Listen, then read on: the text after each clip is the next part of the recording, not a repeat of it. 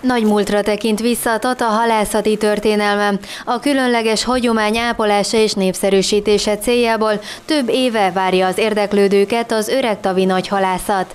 A rendezvény sajtótájékoztatóját október 7-én tartották az Eszterházi kastélyban. Azért fontos, mert egy olyan helyen vagyunk, ami még az országban több nincs.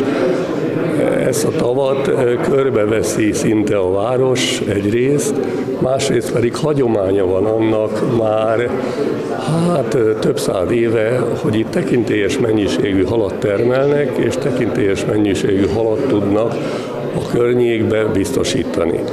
Na most ennek mindig volt egy ilyen ünnepélyes része, a, amit régebben a fenékzsiliphez húztak ki, mikor rengeteg ember volt még halász, akkor 40-50 ember húzta a hálót, és ott több napon keresztül Tata élvezhette és nézhette azt, ahogy válogatják, hogy csillékbe rakják, és ahogy legurítják a csilléket a várárokba, és ott a telelőbe helyezik el.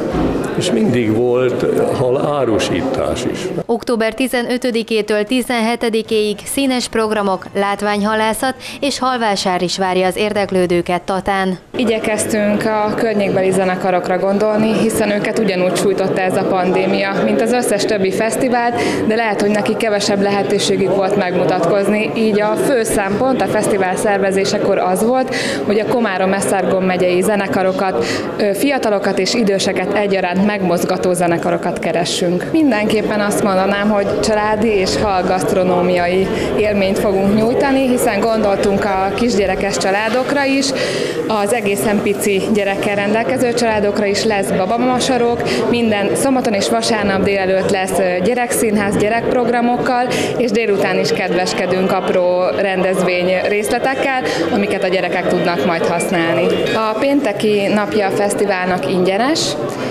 egynapos jegyeink is vannak, 1500 forintba kerülnek, a kétnapos fesztiváljegy 2000 forint, Tata kártyával pedig 1000 forintos a belépőjegy. Ezzel a megváltott karszalaggal az Eszterházi kastélyba 1000 forintos jegyáron jöhetnek be a látogatók, és ingyenesen látogathatják a Gunidomokos megyei múzeumot. A rendezvény védettségi igazolványjal látogatható, illetve házi állat a fesztivál területére nem hozható.